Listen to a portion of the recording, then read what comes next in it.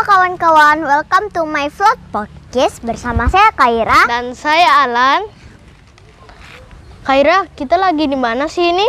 Oh ya Lan, sekarang kita lagi ada di Pura Lingsar nih. Nah, Pura Lingsar ini berkaitan sama Pura Narmada sama Pura Mayura juga Lan. Oh gitu ya Kaira. Ayo kita masuk Kaira. Kayaknya di sana ada pemandunya deh. Oh ya, Lan, sebelum kita masuk kita pakai masker dulu ya, biar sesuai sama protokol kesehatan. Oke. Bisa nggak Lan?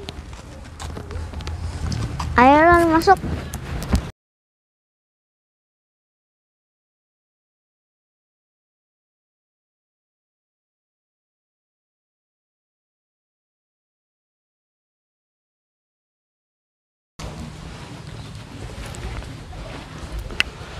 Selamat datang Alan dan Kaira di Kemalik dan Pura Tamalinsar. Mari kita masuk ke Kemalik dan Pura Tamalinsar mengenai kita cerita mengenai sejarah berdirinya Kemalik dan Pura Tamalinsar.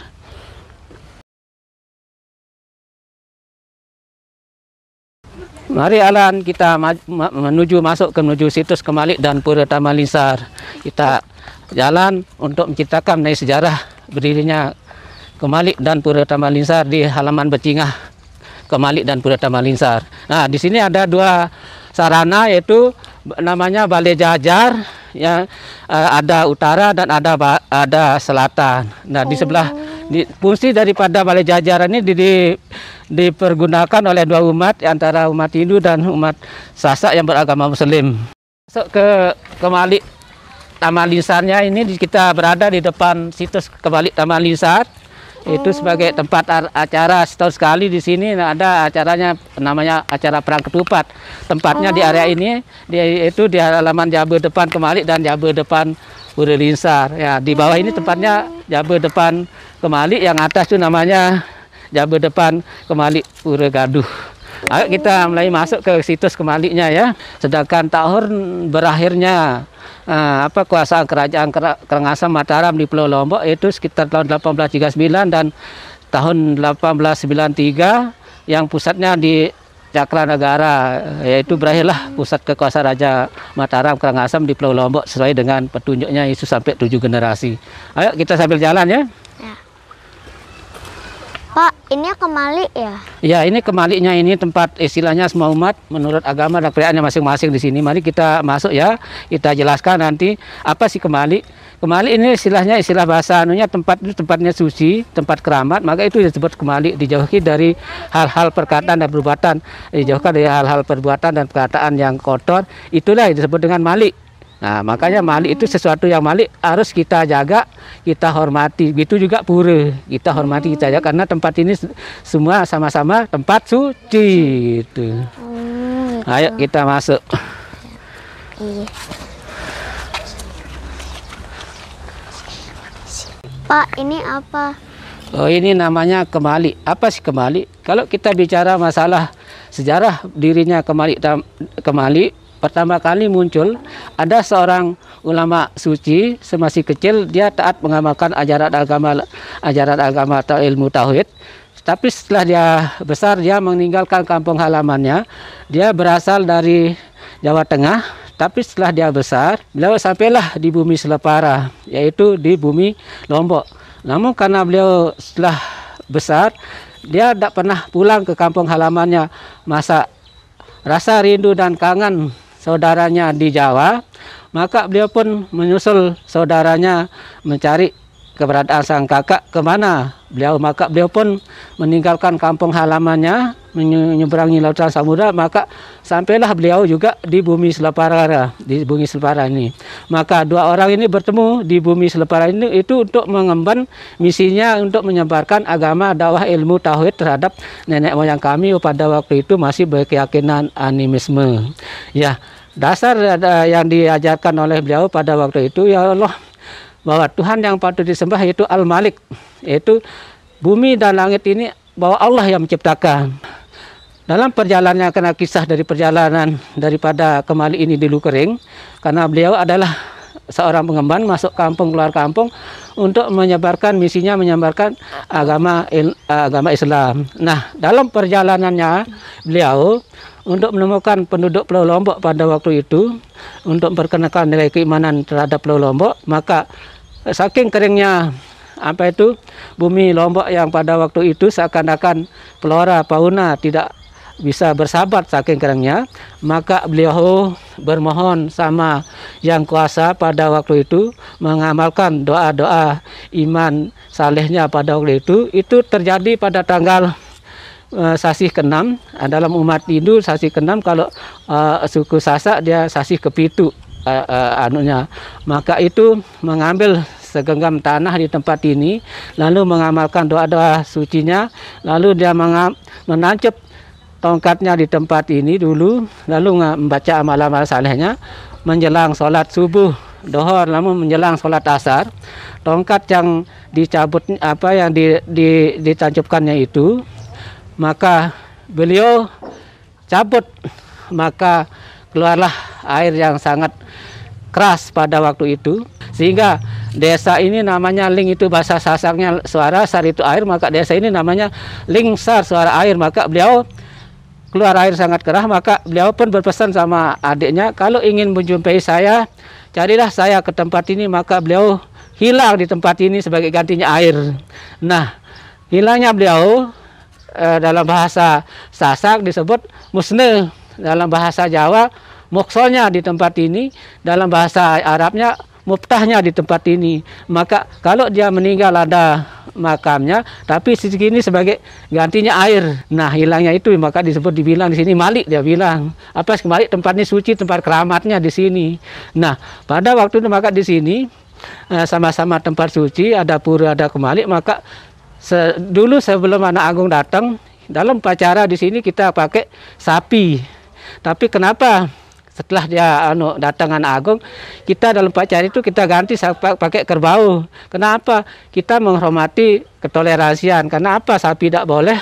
Karena dalam ajaran agama Hindu kalau sapi itu binatang suci ibu kedua yang menyusuin maka kenapa babi tidak boleh? Haram hukumnya bagi orang muslim maka dalam upacara apa aja yang boleh kambing, ayam, itik, kerbau. Itu yang boleh yang motong pun orang muslim di sini. Maka ada aturan di tempat ini 900 meter utara maupun timur barat daya baru baru ada orang pelihara uh, anu itu aturannya kalau barang siapa yang melanggar aturan itu, misalnya datang bulan, makan babi, itu tidak diadu-adu, makanya bisa hujan angin, bisa petir. Maka bilang, pemalik dia bilang, maka itu tidak boleh. Maka apa sih kemalik? Tempat ini suci, tempat ini keramat, gitu juga puranya tempat suci. Maka sesuatu yang suci harus kita jaga. Nah ini alan ini ya sejarah nih undang-undang ini menuju ke pura dan kembali linsar ini jumlahnya 17 17. Kalau kita kalikan 2 kali 17 berapa? Kan 34. Apa pesan filosofinya dalam uh, keyakinan Islam? Kalau 3 sama 4 7, bahwa 7 hari dalam jumlah hari dalam jumlah hari dalam seminggu. Kenapa 7? Karena orang apa? Uh, karena kenapa 17? Karena orang Islam sholat sehari semalam 17 rakaat. Kenapa 17? Karena kitab suci Al-Quran turun pada tanggal 17 Ramadan. Maka itulah fungsi-fungsi makna-makna ini. Makanya kenapa 3, uh, 17 17 kalau kita kalikan 2 kali 17 34 bahwa pesan Islamnya 3 sama 4 uh, bahwa 7 lapisan bumi dan langit dan 7 jumlah hari dalam seminggu. Uh, Pak, kalau ini tempat apa? Di sini tempat-tempat istilahnya persiapan bikin sajian, tapi di sini kalau bahasa anunya namanya berugak bahasa Sasaknya atau sekepat ya. Hmm ini ada dua, tapi fungsi mak fungsi maknanya punya punya makna ini beruga ini karena dua banyaknya. Kalau uh, dua kali empat berapa? Delapan, kan? Karena empat empat tiangnya, maka dua kali delapan, uh, dua kali empat sama dengan delapan. Maka akan nanti nyambung dengan hari ulang tahun kemerdekaan. Kita pindah menuju ke petaulannya sekarang sebelah sana tempat ritualnya.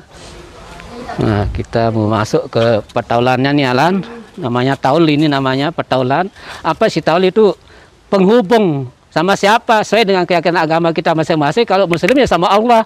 Kalau Hindu sama-sama sang individu. Inilah tempatnya namanya petaulan. Kenapa namanya taul tempat menghubung? Kenapa enam tiangnya? Karena dalam pesan Islam enam itu istilahnya rukun iman itu enam. Maka di sini tidak membedakan nanti dari latar belakang semua umat agama masuk di sini menurut agama dan keyakinannya masing-masing. Maka di sini unik. Kalau kita masalah bicara masalah ketoleransian, kerukunan hidup, di sinilah kita belajar sama peninggalan nenek moyang kita yang namanya kemali ini di petaulan ini. Nah, di sini dari dari mana kalangan agama Hindu, Buddha, di sini dia melaksanakan upacara di luar dalam agama keyakinannya masing-masing. Ini namanya petaulan.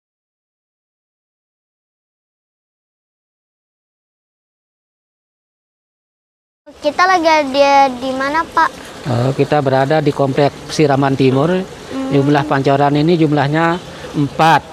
Apa sih pesiraman? Ya jelas namanya pesiraman tempat mandi, tempat istilahnya menyucikan diri di dalam melaksanakan ritual di sini jumlahnya empat. Tapi dalam pesan Islam di sini kenapa jumlahnya empat? Karena dalam sahabat Rasulullah dalam menyebarkan agama Islam itu empat sahabatnya Rasulullah begitu dalam menyebar agama Islam. Itu itu Umar, Ali di sini dia anunya terus nanti kita akan pindah juga ke sebelah barat nanti yang jumlahnya lima. Nah ini kita cukup di sini dulu para raja atau tuan putrinya kalau dia istilah ritual mau sembayangan menyucikan dia nanti mandi di sini namanya di pesiraman ini. Ayo kita pindah nanti ke pesiraman barat yang jumlahnya lima. Ada empat, ada lima. Nanti kok kita disuruh nanti jumlahkan empat sama lima berapa sembilan akan akan terkait nanti dengan istilahnya ajaran ajaran Wali Songo itu. Ayo.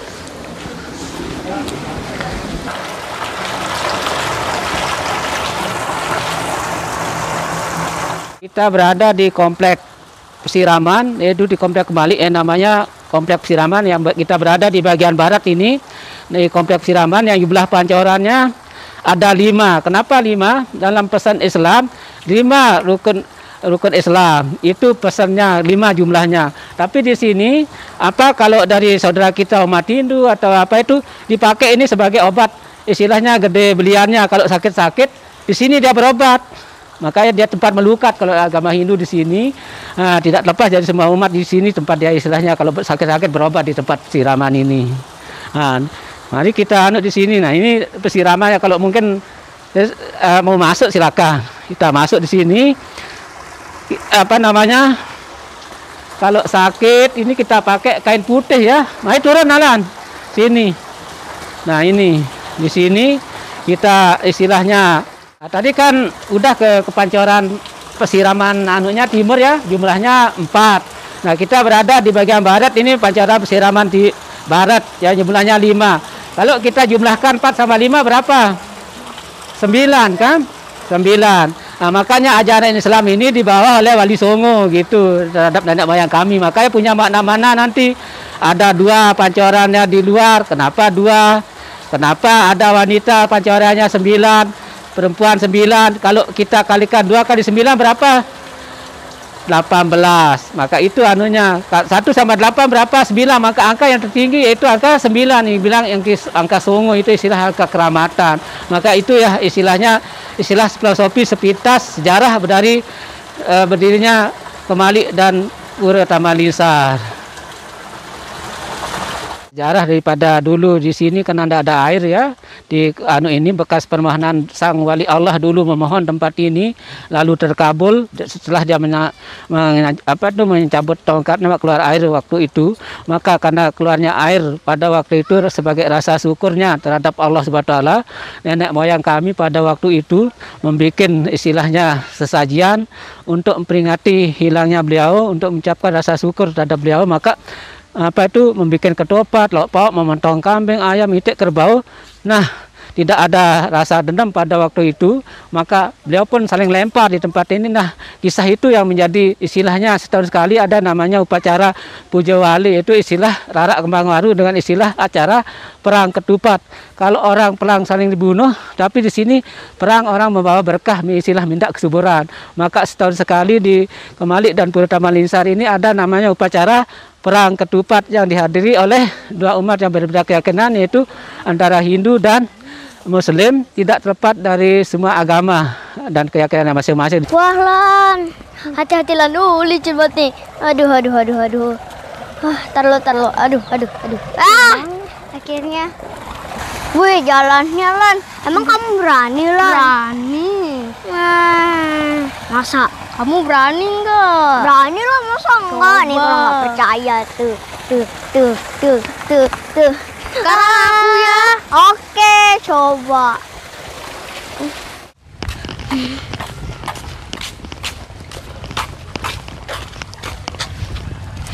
Nah, Lan dan teman-teman, jadi tempat ini tuh tempat eh, gaya apa sih namanya gaya eh, ritual gitu. Terus di sini juga tempat pemandian. Jadi kalau kalian mau mandi di sini jangan pakai sabun ya. Kaira, ayo kita ke situ yuk. Ayo Lan, Ayo. ayo. Hati-hati Lan, tempatnya licin. Banyak batu-batu licin soalnya di sini. Iya. Oh, yuk kita lihat yuk di atas. Wah, besar ya di atas ya Lan ya. Iya besar banget. Besar, luas. Hmm, luas banget deh ini kayaknya. Iya. Wah, luas lagi ya tempatnya. Iya. Indah, keren pokoknya. Mantap. Iya. Banyak bunga-bunga, tanaman. Wow.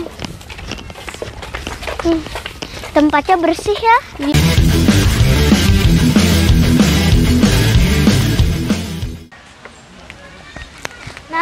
buat kawan-kawan yang ada di rumah, kalian kalau ingin liburan tidak hanya harus ke pantai, kalian juga bisa ke cagar budaya. Nah, sampai di sini dulu ya videonya. Jangan lupa subscribe, like, share, komen, dan nyalain loncengnya ya. See you. Bye.